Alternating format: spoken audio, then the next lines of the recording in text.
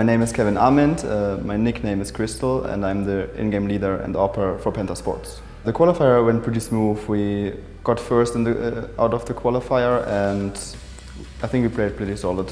I think there are not like really favorite, favorites on this tournament. There are, can be a lot of uh, upsets like there have been even in the qualifier so we are not really scared of anyone. Um, I personally only would like to meet Big maybe in the final.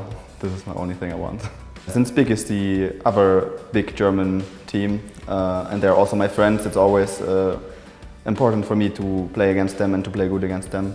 Uh, I always want to win against them, especially they're my friends. So personally for me and also for the team, this always means a lot to play against them. I think being in a completely international team is more than something good than an obstacle since we have so many different play styles coming from each country and we are trying to unite them in one team. Uh, so there basically is always something new we can learn from each other and this is why, for example, we can adapt very, very good to many enemies since we have basically every, every country. so I actually, I actually like it very much.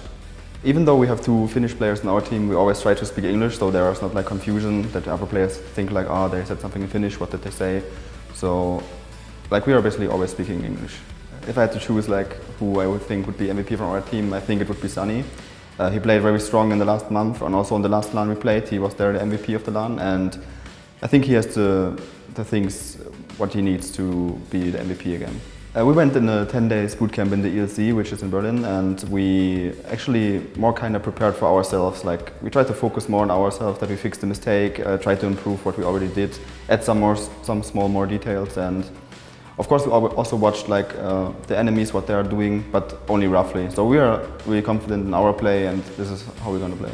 Our group is actually okay for us. Um, we, the first match is against iGame, which are again Finnish players. So we have a kind of plan how they play, and the other big team, which I guess would be Dignitas. Of course, we, we shouldn't underestimate anyone. So, like I said before, anyone in this whole minor can upset, like it was in the qualifying phase.